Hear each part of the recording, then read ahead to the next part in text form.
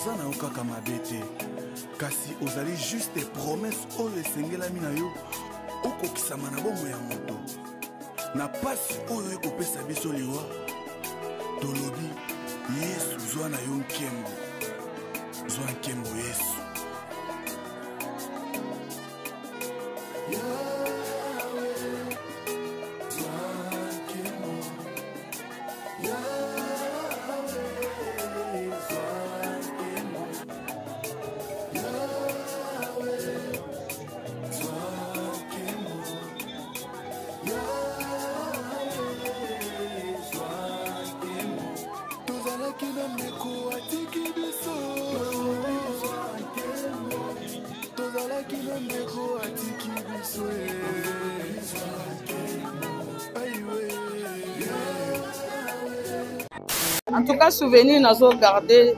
Pas na ye eza pas grande chose mais conseil kaka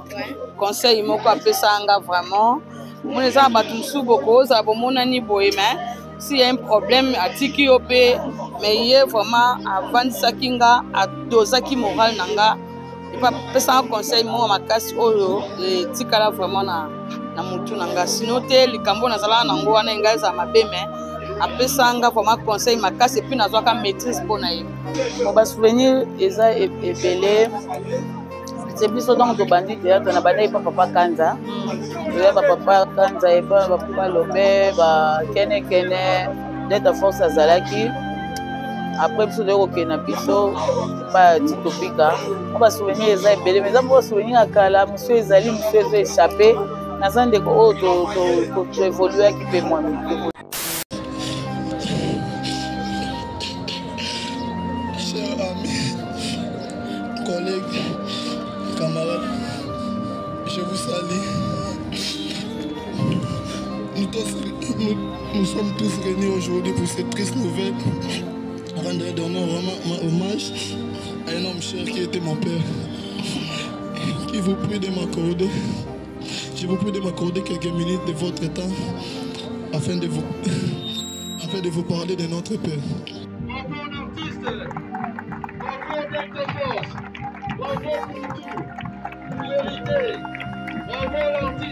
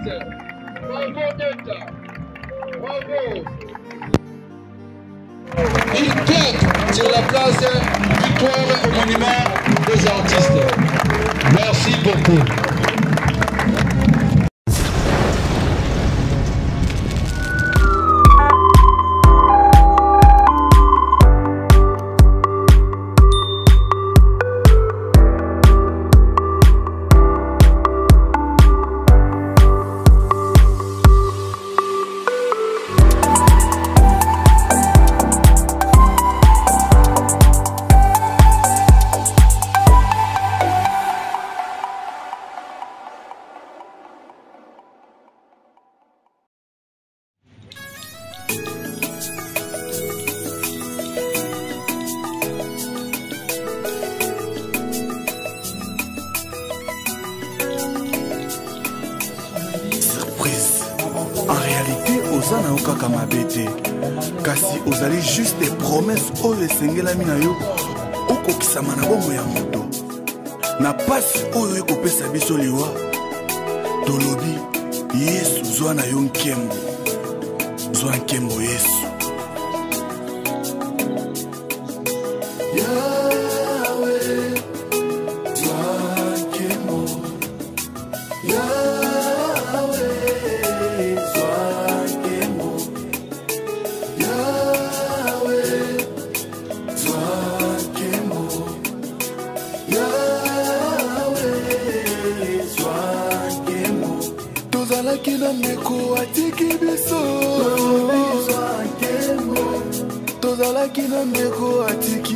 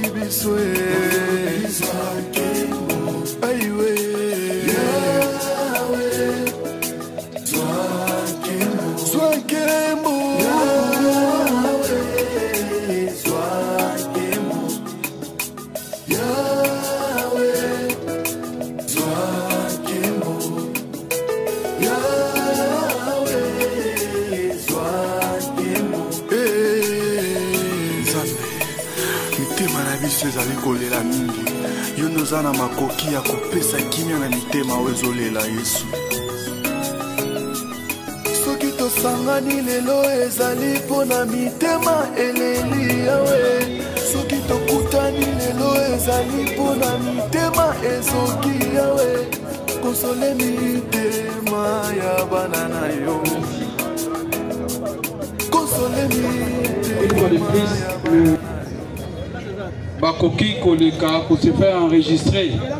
auprès ya l'artiste comédien Leandre Lule Lule azali na mopanzi bokomi okomisi kombo na bino mpo na ntango ya dépôt de jab de fleur tosala yango na kimia mpe na limemia dans quelques minutes tosala leve ya corps mais bo momesano tokosala caravane d'honneur ya ndeko na biso delta force esalamaka lolenge nini ntango bazobimisa nzoto ya ndeko na biso na morgue libanda na yango bato bakotelema wana bamembre ya famille na baartiste comédien baninga na ye yango tobengaka carnaval d'honneur ntango bakobimisa nzoto ya ndeko na biso liboso foto na ye liboso ye alandi na nsima na yango baartiste baakompagne bamembre ya famille na baartiste na nsima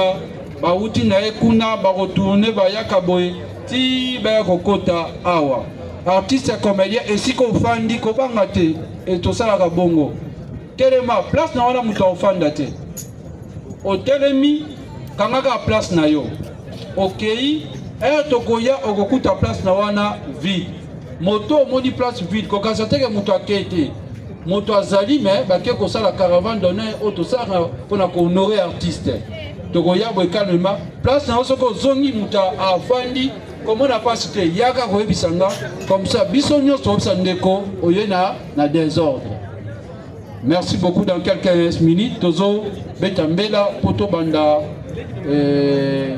caravane d'honneur ya ndeko na biso Delta Force. Merci beaucoup. ezali mpo na mitema eleli yawe soki tokutani lelo ezali mpo na mitema ezoki yawe kosole mitema ya bana na yo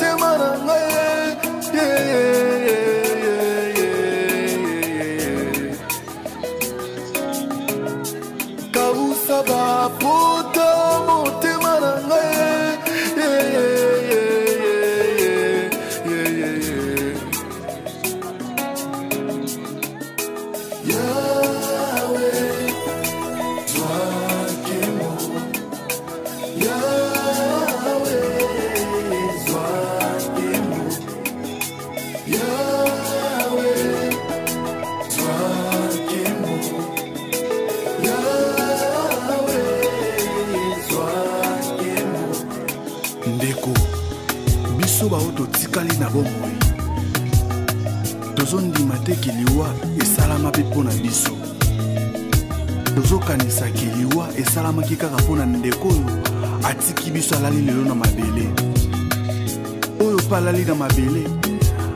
abandaki kondima te ke liwa mpe ezalaki mpo na ye me lelo atiki biso yaudi ilunga est en fait pourquoi en fait un fils vient de naître au nom de Tambu Futila Djibril. 58 ans après,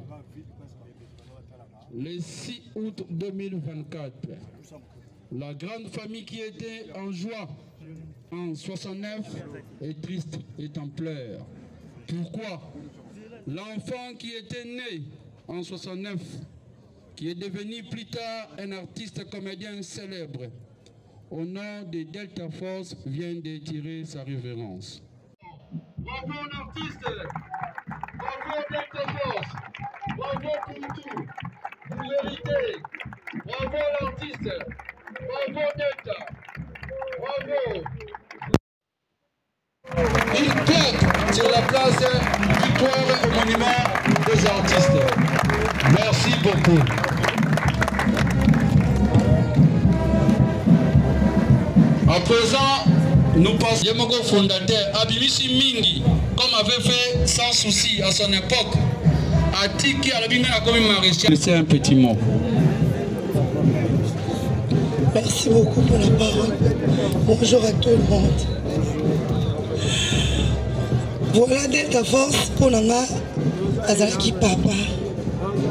asukaki kaka na papa te ngai azali kobenga ye coach likolo nango azalaki lokola camarade lisusu tozwaki temps mwa mingi na ye nazwaki temps na ye ya kodiskute tobandaki mpenza kodiskute biso mbale azali kosilika mwa mingi soki asiliki ngai nasiliki omona yebisi mwasi na edouble ekelamu aza mama mapasa ndeni mama azalaka na motema monene mama asilikaka boye te soki tobandi odiskite na ye omona ngai nazongi ndako ntango na ozonga ndako abenga moto ya liboso mama tournage eza lobi na ntongo abandola mosala 6 heures so nayebisi président nalobisa yo te mama mpo na mosala nakoka binemi te mpo na mosala oyo yango naza delta force ntango na oya tournage so na bandi kotourne naozalaka na titi na kanda soki amoni ke ah, mbe oza na scène elo omona alinga kopesa yango ozopesanga te me président tokolobana te mama nasala bastress sala ntango eloko omona sepela Hey, eh, papa naza eloko osala te ekelamu ozalaka na française lobelaka ata mwa de france elongolaka susi de force mpo na nga tiete une papa une spéciale mpo na ngai tete na papa la plus belle de la monde de ta force que la pluie frappe que la soleil sort otikali na motema na ngai lokola coach lokola papa papa moko ya motema monene nde tasekaka nde tazalaka cool beta mpo na mosala ayebi kofasilite motu ayebi kokoche motu ayebi kobranche motu beta ayebaka kotanga oyo eza motu ayebi so mama ozopesa yango te beta ayebi kovanda na bana papa partout ozali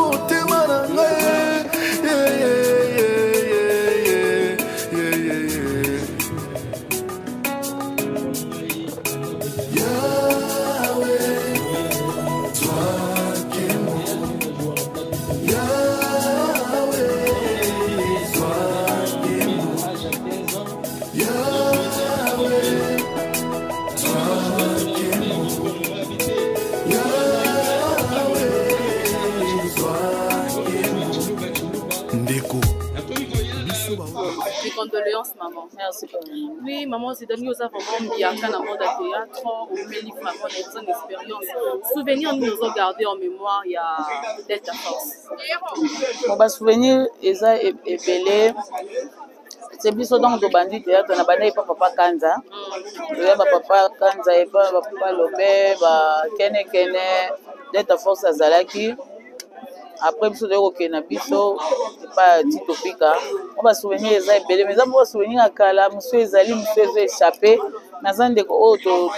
toevoluaki mpe mwami toevoluaki mwami na aire ya kala ntango na badebut ya basala kua andeko toevoluaki na ye limonso nini oza nango na mokolo ya lelo tosi kozwa nzoto na ye mpo tokende kotika yango na bisika ya bopemi ntango omoni babimisi ndeko na yo na cercueil sentiment na yo eza ndenge nini emotion eza ya mpasi parceke bayike bazotika biso bazokende euh, nzambe apesaka mpe azozwa tozongisaka merci mpo na circonstance nyonso mpo tokumisaka ye malgré vraiment mama ya biso première dame na biso azobunda maman denise nyakeru azobunda mpo na biso na assurance na baassurance maladie oyo apesa biso tozobimisa maladi ya minene minene minene tozobika mpe me nzambe soko apermettre mpe oyo akende ekomi jour na ye eza lokola na train tozokende moto na motu azokita na arret na ye donc dieu a donné il a repris eh, sentiment eza ya mawa ya détresse ya tristesse po bandeko bazotikatika biso eza nzela na biso nyonso bango bapreside bakende kaka malamu mais likambo ya carte wana ya assurance toza na bandeko ebele mpe bacomédien mpe kaka bazo murmure balobi carte wana baponi ka juste ka babilongi bamisusu bazotiretrouve nango te par rapport à cela libani kokozana oyebi ntango biso tozwaka première vague mhm. bato mosusu mpe bamurmuraka mais deuxième vague mpe eyaka bazwaki donc memement troisième vague mpe ekoya donc toza ebele tozobotana mpe du jour au jour on peut pas tout servir tout le monde à la fois tozala patient baoyo bazwaki baoyo baye kozwa bamisusu mpe bakoya lisusu kozwa ofur a mesure tozwa zwa zwa zwa tokokoka biso nyonso te tokokoka biso nyonso dernier mot na ngai eza ke toye korendre dona biso ba hommage na ye ake malamu na dernier demeure na ye que son âme repose en paix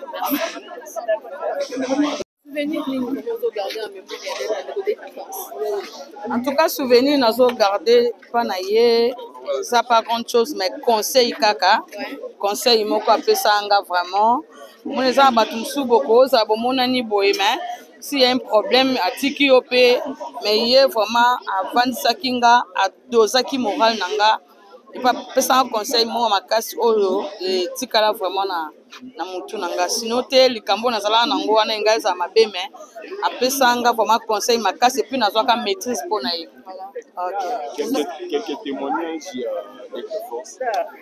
donc témoignage na nga mpe kaka yango wana mpo nazalaki sino ake tournage na ye namonaki azali motu moko calme azali motu akolinga baproblème te eh, azalaki vraiment euh, ko éviter ba problème voilà marie-jeanne euh, na dernier temps ya papa na biso delta force aza artiste na biso mpe monene ya mboka c'est comme si mpe anda kolela me bandeko na ye ya théâtre euh, basundolaki ete okoloba bongo vraiment lelo tomoni présence ya bato ebele oyo peut-être azalaki mpe na mposa lisungi na bango okoloba nani mpo na yango bon kosundola c'est trop dur parce que lea mutu soki mutu azobela toza baartiste ya comédien mais ntango azalaki na carte carte ya prise en charge oyo bazwaka bacomédien mosusu mpo biso tozwa chance wana te ntango oza na carte wana vraiment ezalaka nanu une bonne chose ozokende ozozwa traitement na yo si un problème ebele bakoma na bango ayoki mutu mpasi akei na ye mpe me biso oso nayoki mutu mpasi na ozwa mbo nafuti mbongo naki hôpital oza na problème eh, eh, cardiaque okende bahôpital meme place oza bahôpital minene minene nde esika okokota grâce ya mama denise nyakeo tu vois ya koloba ke bacomédien basundoli non na nango oyo abelaka aleka bona comédien azonga bona comédien tosala tomelangeaka to makambo te tu vois tomelangeaka makambo te toza bato moto akufi toyebi kakufi ntango anda obela bato banda okende bato bazala na bagroupe omona bafoto meme ngai nakete yo okete mais une, une grande équipe babanda ye mpe kokende okomprendre ah, donc c'est ça conseil na opesa na groupe oyo atiki eza kaka ke bolanda sponsor te yono towelela ngai nazala président ngai nazala cordon ngai nazala boye mpo na sponsor oyo atiki peut-être sponsor wana ayaki mpo na delta force mais soki boye na ndenge ya baloyenge yo oyebi kaka donc voilà bazala kaka na bolingo epuis biso baoyo oh, totikali tozala mpe na bolingo ya kolanda na baproblème na feti bapesaka moto invitation mais na matanga ba invitaka mutu te ebele bakoma ezala, ezala bamikolo na biso basala théâtre avant ezala génération na biso bamatanga bakoma kokima eza mpasi me kokima mosusu eza kaka mpona bino bato ya kofinga kotonga kotyola kochange ba, ba, comment dirais-je kochange titre bamakambo ebele ebele yango tokoma koevite donc c'est un peu ça mais ntango ozo éviter yo mpe ntango ozwa problème bakoevite mpe mpo na yo donc euh, tolandana to kasi ya un problème surtout ka ya liwa tozondima te ke liwa esalama mpe mpo na biso tozokanisa ke liwa esalamaki kaka mpo na ndeko oyo atiki biso alali lelo na mabele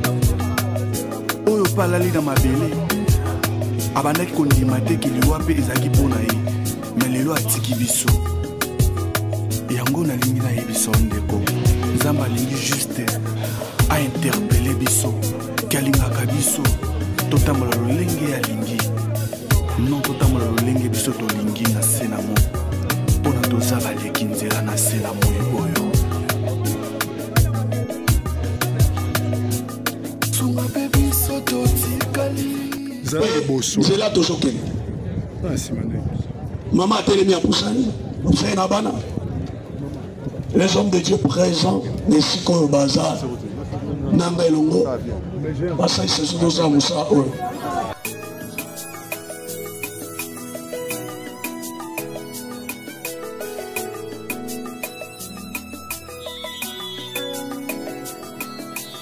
surprise en réalité oza na yo kaka mabe te kasi ozali juste promesse oyo esengelami na yo okokisama na bomo ya moto na mpasi oyo ekopesa biso liwa tolobi yesu zwa na yo nkembo zwa nkembo yesu yeah.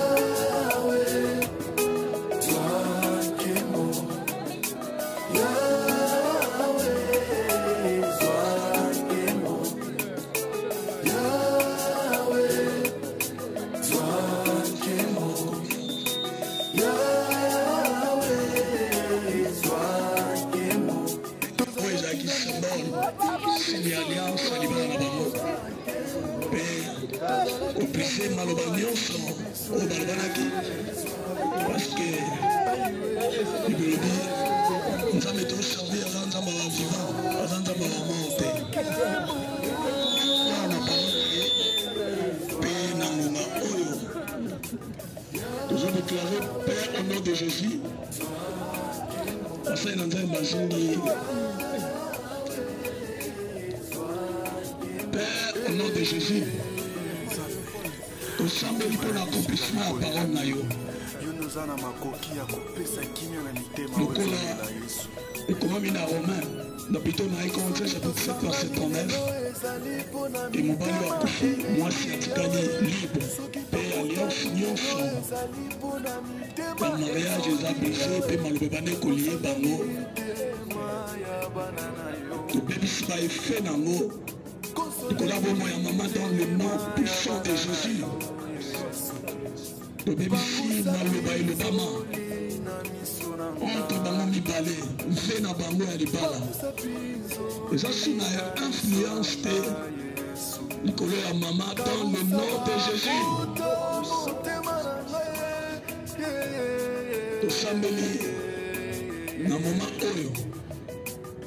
na bokonzi oyo opesi biso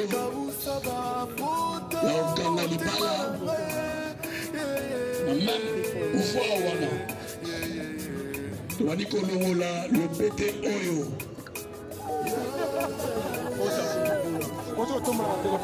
oyo ezalaki sini ya alliance ya libala na bango elongoli yango Perfiance nyonso ekoki kovanda na bato oyo mpo na libala na bango ya mabe ebebi au nom de Jésus. Déclaré mwasi libre na ngonga oyo akomi sous responsabilité ya Nzambe alola. Biblia alobi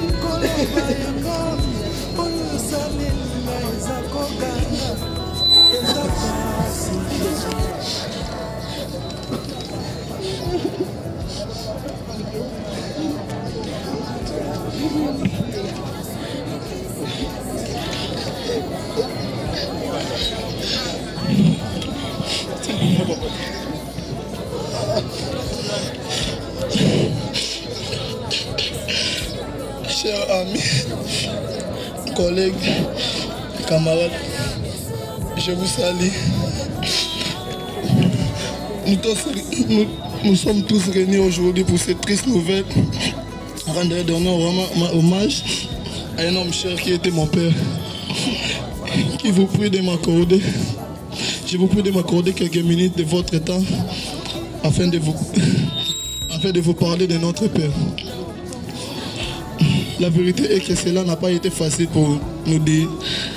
rédiger ce discours, mais c'est notre dernière fois de lui rendre les hommages qu'il mérite. Mon père était un véritable pilier pour nous. Il répondait présent à chaque situation lorsqu'on avait besoin d'une épaule pour pleurer.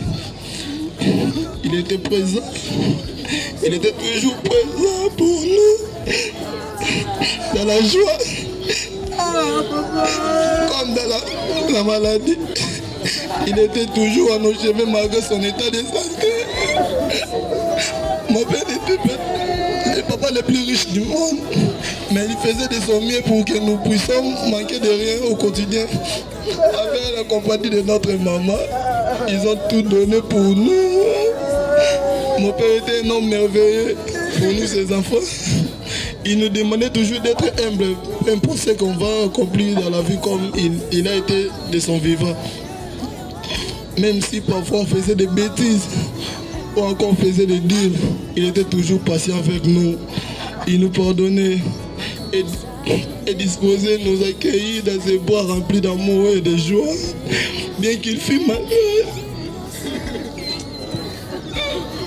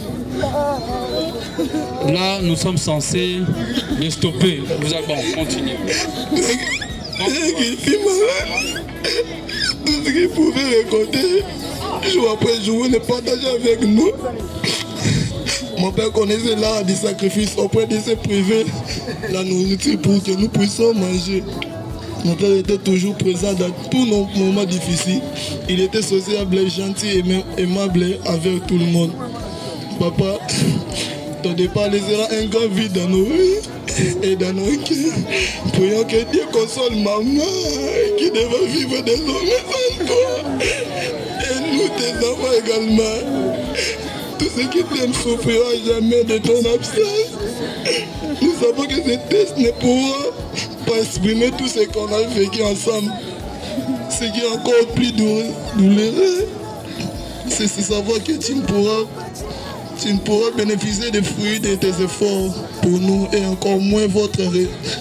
moins votre, moins voir notre réussite. des enfants qui t'aiment et qui continueront à t'aimer pour toujours. Nous espérons que depuis au-delà, tu nous écoutes et que tu veilleras pour nous. Nos cœurs remplis d'amertume et d'amour pour toi.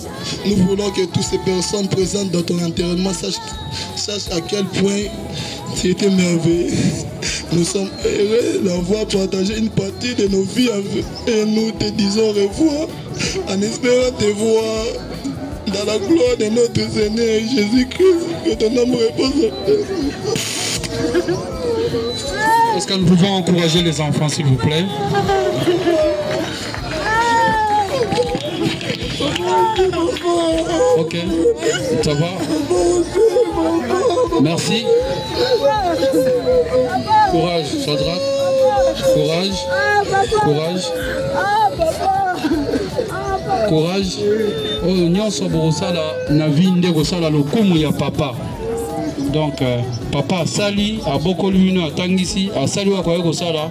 meme ye aza te oyo bino bokosala ekozala na honneur na ye papa w ye na biso bafacture na biso tokende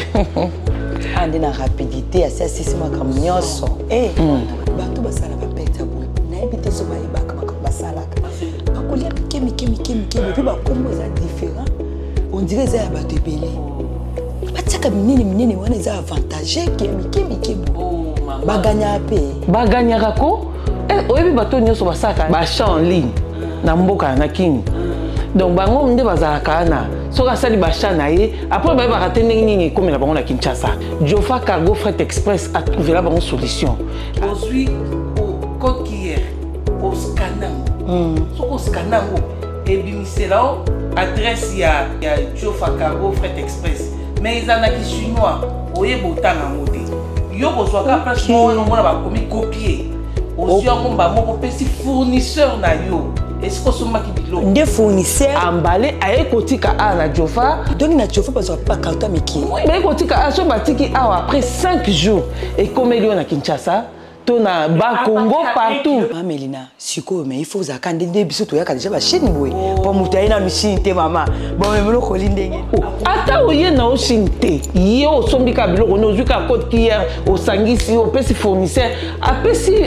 asali bikoli aye nango ajofa amemelo na kisasa naza na cousine yango mobi cornelite alinga kosomba biloko na en ligne e, eloko eblokake kaka adresse omoni mbongo na yo hmm. otyaka nao na agence nini ngai ngai ayaka na mbongo nkasi wana ye soki asili kosomba basha esili esili eh. oza na mposa kosomba basha mbongo esili ovandi soki nakauki ifoka nazonga kishasa ti nake eteka awa na jofa cargo fret express batindaka mbongo donc moto aza kuna obenge etindelanga mbongo mama soki atindelo mbongo avant meme code ino eya ozwi mbongo no de yaka nalobi ye eh, mama mena explikinga eloko moko awa mhm. te ngai ngai bino boloba mpo nazangamerci papa merci nde naza me mama mena explikinga sikoyo mhm. bakoti nanga mbongo na e-shop nazwi yango awa nazopaka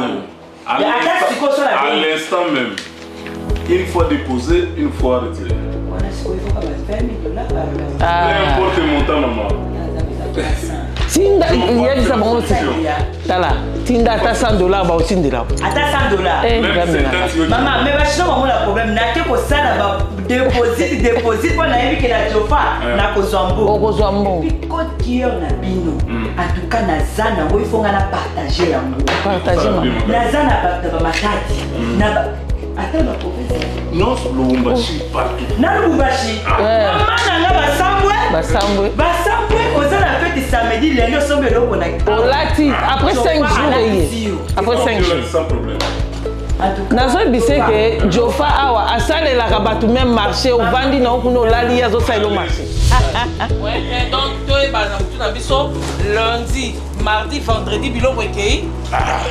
jeudi samedi biloko ekoma kuna esengo na biso kutu nde biloko ezokoma avant mpo toteka mpe avant tozwa mpe mbongo avant totinda mpe avant makambo nyonso avant avant